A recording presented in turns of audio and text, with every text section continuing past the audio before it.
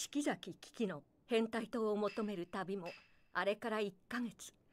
2本目の刀を求め咎めと七川稲葉を目指しておりました。あまり強くするな。加減がわからん。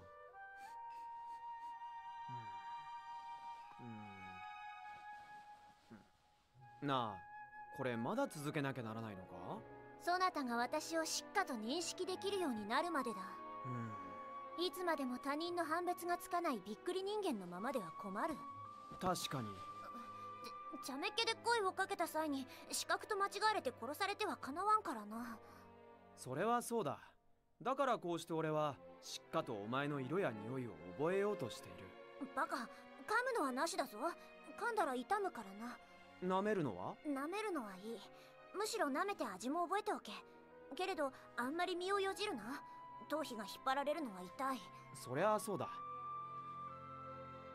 教育とは滑稽なものだ。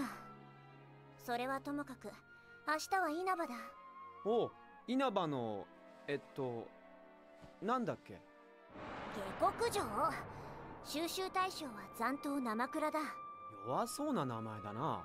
それは四季崎なりの皮肉だ。この残党は比類なき切れ味が特性だ。どんなものでも抵抗なく一刀両断してしまうらしいぞ。ふーん。ん？そうするとその残党で頑丈な絶刀を切ろうとした場合どうなるんだ？試してみんとわからんがおそらくは完成度の低い方が矛盾なく負けることになるのだろう。作られたのは残党の方が後になるはずだから絶刀が切られるのかもしれん。2本目に生倉を選んだのには理由がある。ん？今回の相手は剣士だ。剣士ならば忍者よりもやりやすい。うねり銀閣という浪人ということになるのかな。それともあるいは城主なのか。はかつて旧将軍が刀狩り令を出した段階での